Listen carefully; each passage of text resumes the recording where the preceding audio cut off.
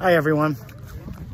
Today I'm here at Sweetland Farm, which is in Norwich, and I'm stoked because I scored some ramps here, which are wild foraged, also known as wild leeks. Pretty hard to get. I mean, you gotta go out and get them, and I just haven't had time. But the reason Sweetland Farm has all these vendors here today is they are launching their season, which is pretty cool, very exciting. Fun fact, about Sweetland Farm. It was started by Nora Lake, who went to the Putney School, which is also where yours truly went to high school. They have a CSA all summer, and the CSA is a community-supported agriculture. So you sign up a subscription.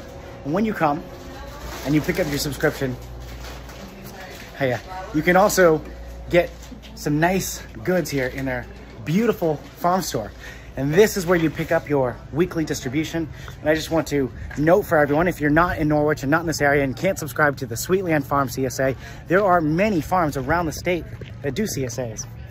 And so um, you should uh, look them up. It's a great way to support local ag. It's a great way to get fresh fruits and veggies all growing season. And uh, I'll stop talking and introduce you to Nora, the farmer. Okay, Hi. Nora, how are you? Good, I'm good.